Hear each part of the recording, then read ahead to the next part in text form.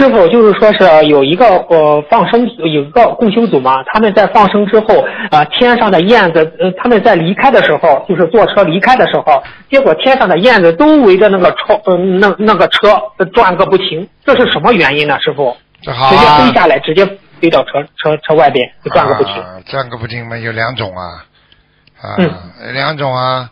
第一啊，这种燕子呢，你要说好的，如果真的有菩萨来，这种燕子，嗯燕子是带来喜讯的，啊啊，就是说，如果对着单单是对着你们做放生的人的车，那是一种，那是一种你们身上有光环，他愿意跟你们多接触。如果是盯着那些放鱼的车，是看看还有什么剩的鱼，他们可以吃。哦，他他们是一直围着放呃同修的车，就是同修的车，啊呃啊，那。那那就是有光环了。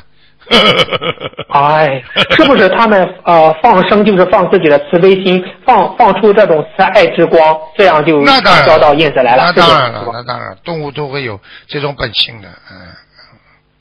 哦，明白了，明白了。嗯，你你像师傅，比如我们在放生的时候，放生的鲤鱼啊、鲫鱼啊，我们在念心经的时候，这些鱼都出来跳，嗯它呢也是感受到菩萨的那种光，还是感受到我们这种慈悲的光，感恩我们。基本上都是人的光，因为人当一个人善良的时候，他会发出一种善良之光，明白了吗？嗯嗯，哦，明白了，明白了。好，谢谢师傅慈悲开示。